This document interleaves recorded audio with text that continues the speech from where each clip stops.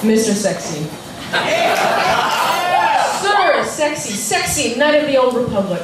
Professor Sexy, Monsieur Sexy, Doctor Sexy, Super Sexy, Public Enemy Numero Sexy. and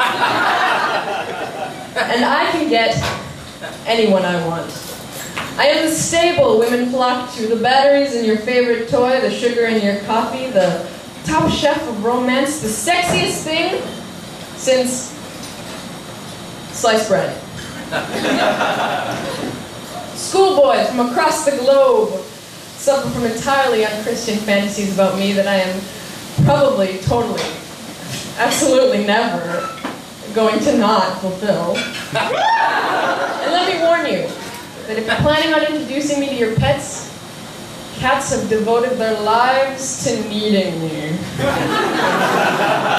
I I am the reason your parents are divorced. The hand underneath the. The lipstick on the collar, the bottle of Merlot, the piggy in the middle. And you don't know my name, but I'm about to become the best lover you've ever had.